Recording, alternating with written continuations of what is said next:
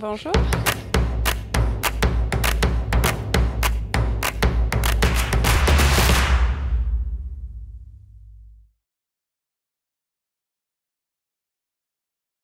Je suis Magali Léon-Philippe, je travaille au Pays Cœur euh, responsable du service tourisme et culture.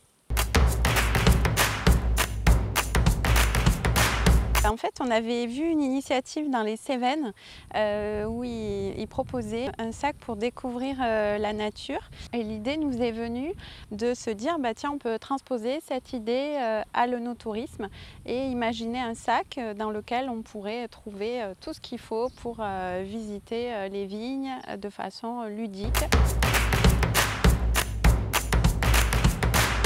Un projet euh, qui est issu d'une coopération. Donc on a euh, quatre territoires qui ont participé à ce projet. Le PETR euh, Vidol-Camargue, le territoire Cœur entre deux mers et le territoire Pays Languedoc et Vignoble. Et donc avec le, Pays Cœur d'Hérault, on a tous réalisé depuis près d'un an ce projet.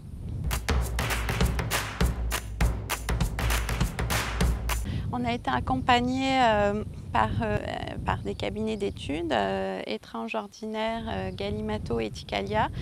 Donc on a fait tout un travail de créativité au départ sur à quoi pouvait ressembler ce sac et puis sur ce qu'on allait mettre dedans et puis aussi sur toute l'expérience et le parcours de service autour du sac.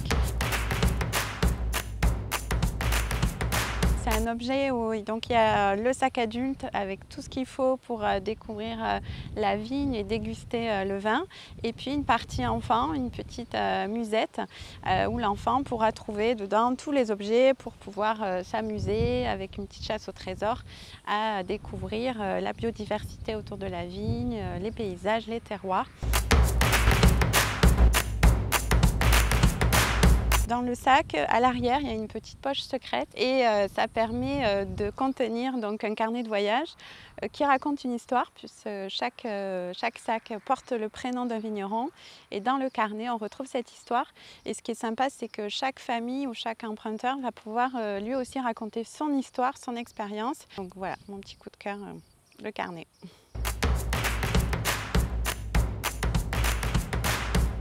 Alors les 185 sacs, vous pourrez les retrouver euh, dans les quatre destinations qui participent au projet. Et surtout, euh, vous les découvrirez euh, auprès des ambassadeurs Vignoble et Découverte qui participent à ce projet. Donc ça peut être un hébergeur, un caveau, un accompagnateur de randonnée par exemple. Et, donc il met à disposition ce sac gratuitement pour les clientèles qui le souhaitent.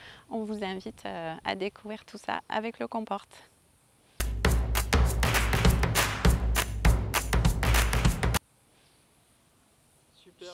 Merci.